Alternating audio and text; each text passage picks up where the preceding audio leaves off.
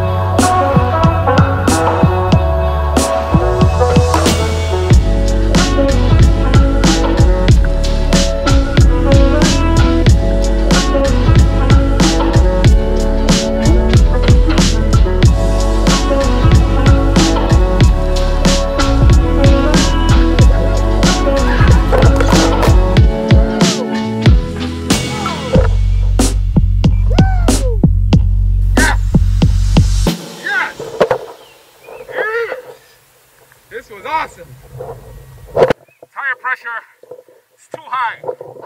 Slip right there. It's awesome.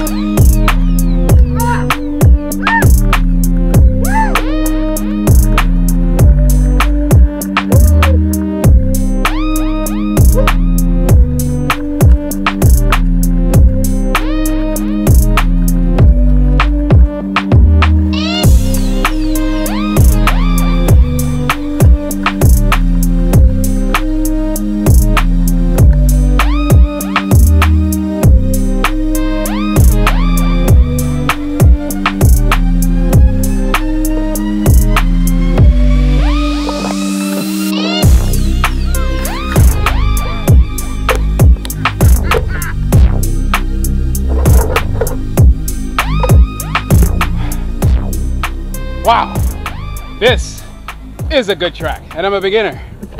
Ah, yes, you're looking at the aftermath of Ustride attempting to jump this tree at speed. Not slowly, at speed. Like, I don't know how fast I was going, but it's a pretty sizable tree. Now, this is normal if you're going slow or um, a moderate speed, but at speed. And I think, oh, that's why. I tried to jump the highest part. I didn't see this, this low part, but I tried to jump the highest part. Wow. Ah, this is a beautiful track. I love it. I absolutely love it. And you know why I love it? Because of the pads. The improvement of the pads. All my life I've been saying no pads, but now I'm in love with the pads. Wow. Look at that. I tried. I tried to hang on for dear life, but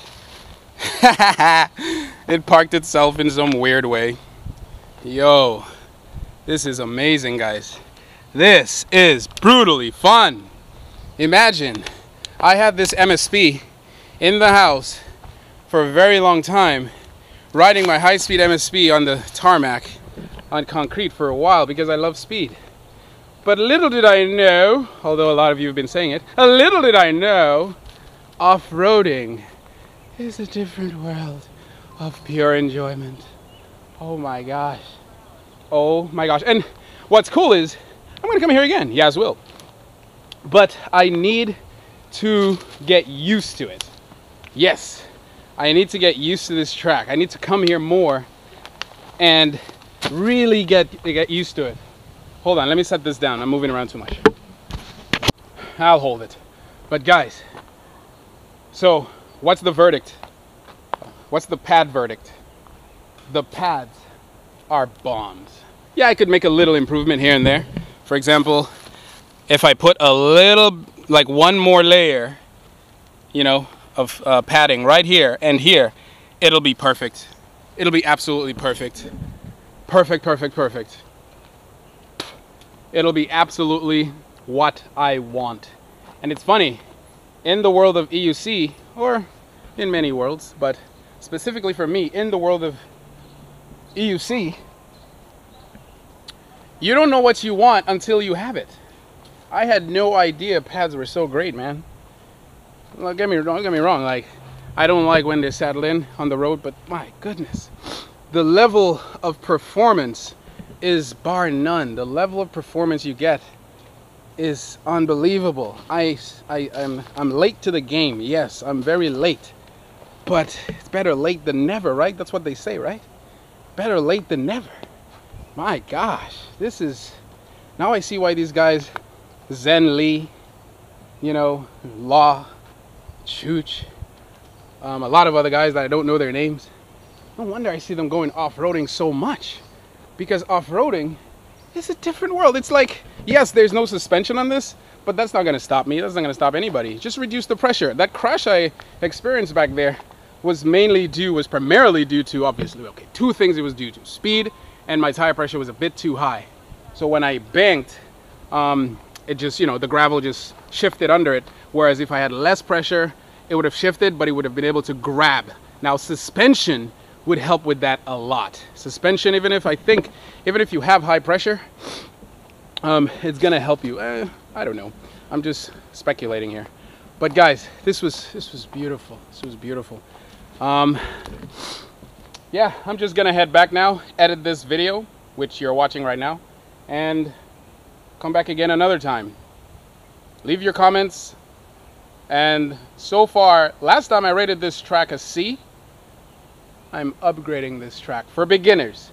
For beginners, because I'm a beginner, this track I give a B plus. Because there's there's the right amount of turns, there's the right amount of so the, the trails aren't wide, they're very thin. Um, there's the right amount of branches, okay? Branches over there. There's the right amount of those so you could try to jump. There's the right amount of hills. There's the right amount of dips, obviously. And the roots part, eh, I don't see myself tackling that anytime soon, man. Uh, the way that stick went up my, the rear end of my EUC, I don't want to experience that again. Uh, maybe I'll come up with something to prevent that from happening, but damn, that was scary. I thought the, the I thought it bent my something. You know, I, I, wasn't. This is my last wheel. I mean, I don't have any other wheels. The, the other two wheels are, are dead. But uh, yeah, this is great, guys. This was fun. Leave your comments. Leave your opinions and suggestions. I'll see you in another one.